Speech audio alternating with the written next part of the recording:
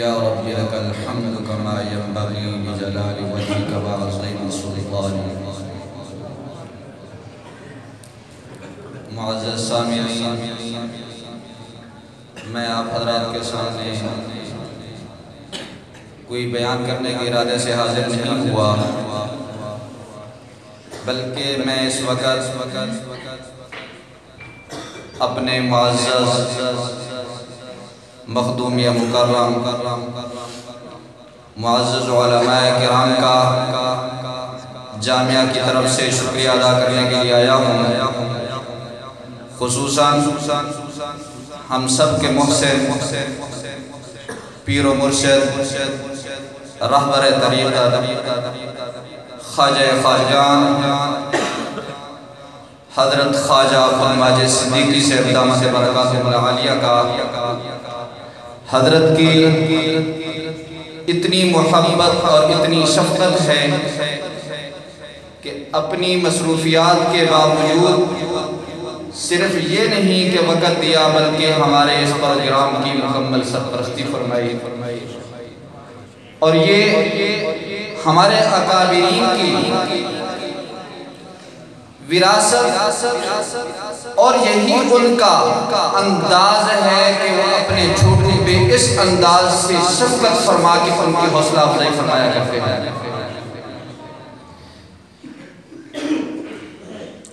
اسی طریقے سے علاقہ کی مشہور دینی درسگاہ، بلکہ ملک پاکستان کی عظیم دینی درسگاہ۔ دارالعلوم کبیر والا سے اساتذہ کرام ماشاءاللہ تشریف فرما ہیں۔ میں ان کا بھی شکریہ ادا کرنا چاہتا ہوں کہ وہ بھی اپنے انتہائی مصروفیات کے باوجود یہاں پر تشریف لائے، ادارے کی طرف سے، ادارے کے تمام منتظمین کی طرف سے میں ان تمام حضرات کا شکریہ ادا کرتا ہوں۔ استاذ العلماء حضرت مولانا شبیر احمد صاحب، اسی طریقے سے مفتی عبد القادر صاحب رحمت اللہ علیہ، وہ کوئی عام شخصیت نہیں تھے۔ اس ملک کے پاکستان کی ایک بہت بڑی شخصیت ہے ان کی نشانی، ان کے صاحبزادے، حضرت مولانا اساس سے بھی تشریف فرما ہیں۔ اسی طریقے سے ان کے ساتھ اور جتنے اساتذہ کرام آئے ہوئے ہیں میں ان تمام کا شکریہ ادا کرنا چاہتا ہوں۔ اور اسی طریقے سے یہ ہماری خوش قسمتی ہے۔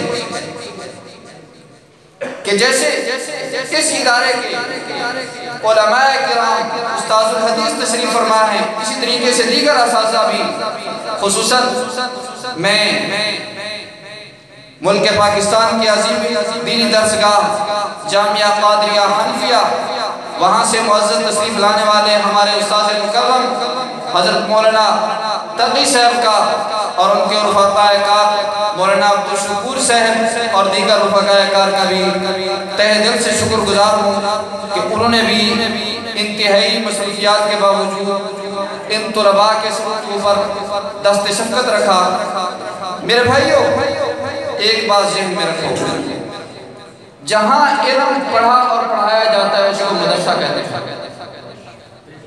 مدرسے کا مقصد ایسے افراد کو تیار کرنا ہوتا ہے جو جرت کے ساتھ کلمہ حق کا اظہار کر سکے۔ اور الحمدللہ آپ طلباء کی تقریب کے اندر اس کی جھلک محسوس کر رہے تھے۔ موتی اور ہیرے کی قدر سنار سمجھتا ہے۔ یہاں کثیر تعداد کے اندر علماء کرام موجود ہیں۔ یہ جو بچے آپ کے سامنے تقاریر کر رہے تھے، یہ کوئی بڑے درجات کے بچے نہیں تھے۔ ان کی حیثیت علمی اعتبار سے ایسے ہے جیسے قرآن مجید پڑھنے والے سے پہلے ایک نورانی قیدہ بچہ پڑھتا ہے۔ لیکن میں مبارکباد پیش کرتا ہوں، ان کے اساتذہ کرام کو کہ جنہوں نے اس عمر اور اس درجے کے طلباء پر اس انداز سے محنت کی۔ آپ کے سامنے وہ کس ضرورت اور کس انداز کے ساتھ بیان کر رہے تھے، وہ کسی قسم کی چیز مخفی نہیں ہے۔ علاقے والوں کو بھی میں یہ کہوں گا، اکاسی تک والوں اکاسی کی پہچان عبداللہ بن عمر بن عمر بن کیوں؟ اس وجہ سے کہ عبداللہ بن عمر کی برکت کی وجہ سے آج ہم نورانی چھتوں کی زیارت کر رہے ہیں۔ خدا کی قسم ان شخصیات کی قدر کو نہیں پہچان سکتے۔ اگر لاکھوں روپیہ خرچ کر کے بھی ان حضرات کی شہادت اور زیارت کے لیے ان کی جگہ اور ان کے مدرسے میں تمہیں جانا پڑے تو پھر بھی یہ سودا سستا ہے، مہنگا نہیں ہے۔ علماء کرام موجود ہیں۔ یہاں پر اگر ہم ایک نورانی ماحول آج ہمیں میسر آیا ہے، یہ عبداللہ بن عمر کی برکت کی وجہ سے